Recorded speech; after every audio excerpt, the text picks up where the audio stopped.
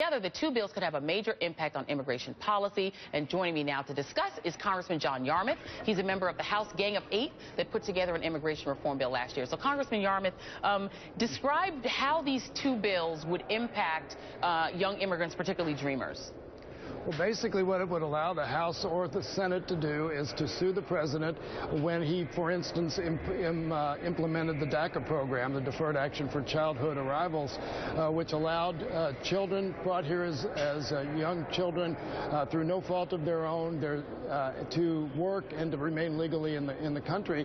about a half million have already signed up for the DACA program. There are about two million dreamers throughout the country that eligible.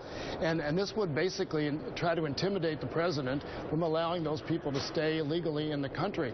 And, and you know, the, the ironic thing about this, Joy, is that in their principles of supporting immigration reform, the thing they were most strong about was about uh, letting these people stay in the country and, and, and uh, become citizens. So um, it's really hypocritical of them to, at one point, say, we really want the dreamers to stay in the country and become citizens and productive uh, uh residents of the United States, but then on the other other hand, say the reason we have to do this Enforce Act to actually empower us to sue the president is because of the president's action with, with, with regard to the Dreamers. I mean, does it surprise you that given the political reality, the demographic realities really facing the Republican Party, that Republicans would do bills that, in your uh, reading of them, specifically do go after DREAM Act kids who used to be seen as sort of the, the, the most sort of positive target if Republicans wanted a way into immigration reform?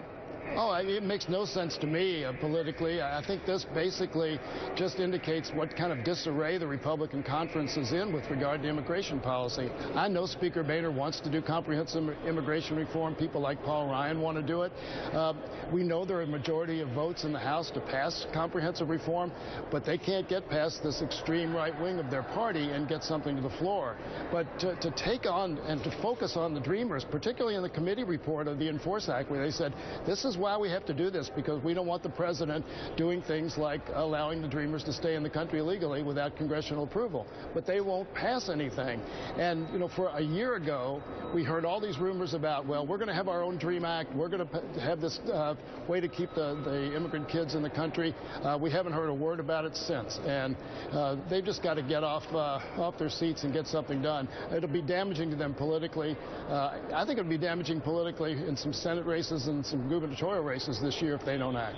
Okay, last word to you, Adrian. Who faces the bigger risk here. You have now House Republicans going after Dreamers, in a sense, with these two bills in the reading of Congressman Yarmuth. You have the president now in a position where the Congressional Hispanic Caucus is demanding action. Mm -hmm. Who, in your just in your reporting, is facing the bigger political pushback? Well, I mean, obviously you can see the president is not comfortable with what's going on with deportations right now, but I think the, the House GOP has to be very careful. Now they're going at deferred action, and, you know, that's a program that's been popular before, and it's a slippery slope. I mean, they talk about, you know, maybe in 2015 we'll pass it, but you have to understand Latino voters voters have long memories, and so then what's happening there? Are they, are they just suddenly saying that these people are working for me and they have my back, or are they feeling like a little bit duped? Yeah, absolutely. All right, well, Congressman John Yarmuth, Adrian Carrasquillo, great reporting. Thank you so Thank much. Thank you. Okay. Thank you, And you